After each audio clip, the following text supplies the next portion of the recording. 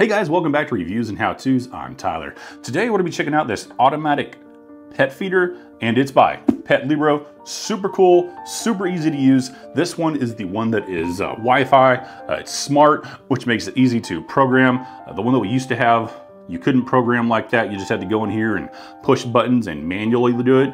That sounds easy, but realistically, that is a pain uh, on an automatic pet feeder because you have to dial in how much you want to feed your pet.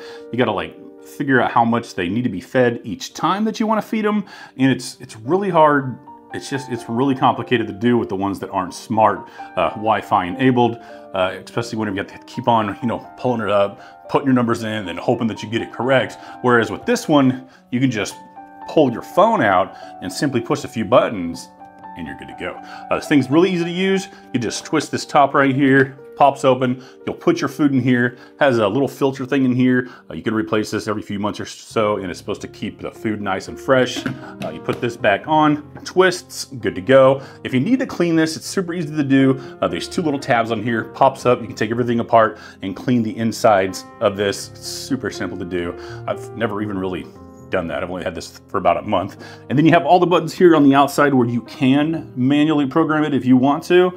Uh, like I said though, I do it all on my phone. You're gonna be downloading the Petlibro app and then this is what it'll do. It'll pull it up. Uh, you can go in here, program everything, uh, set different schedules for different days. You can turn off these schedules, you can turn them on. You can hit a button right here to where you can feed them now. I'll go ahead and show you that. Uh, it does have like a little voice thing that activates that you can record or you can use the pre-recorded one in here. I'm gonna feed them the smallest amount here really quick because my cats are running around and they might come running up here. Kitty kitty, it's time to eat.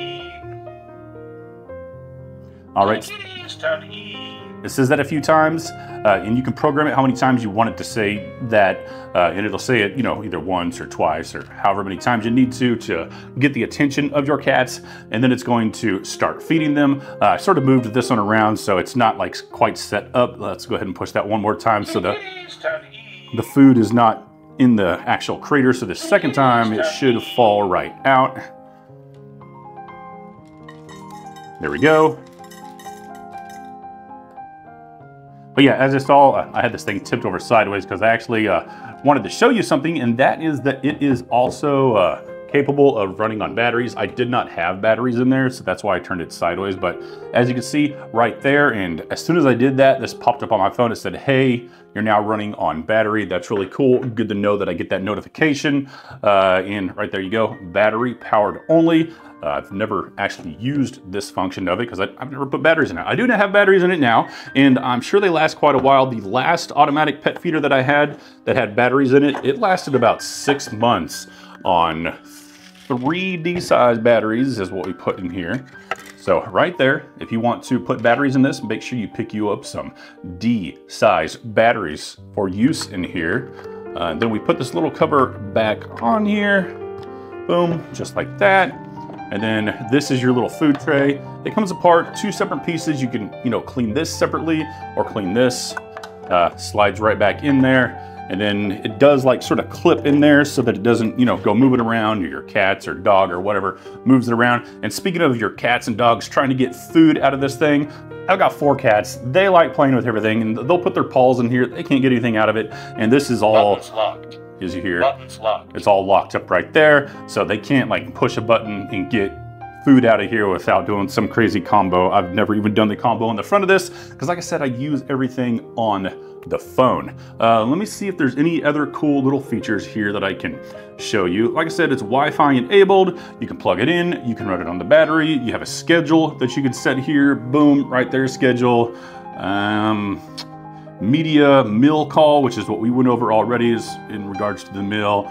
Uh, has a user manual in here, uh, units of measurement, so you can do all different units of measurement. Uh, each time you feed them, you can feed them a little bit, like I have here, multiple times per day, or you can feed them like one big time per day if you want to. Uh, it has different notification settings in here. It will let you know whenever you are running low on food, and you can actually pair this with your uh, Amazon account, and it will automatically order food for you or give you the uh, ability to automatically order more food whenever you're running low. So that's cool. So you're never going to run out of cat food. Uh, you can mute the device so that it's not making noises. So if you need to feed them at night and you don't want that meal call, it'll just dump the food and you don't have to worry about waking up anybody.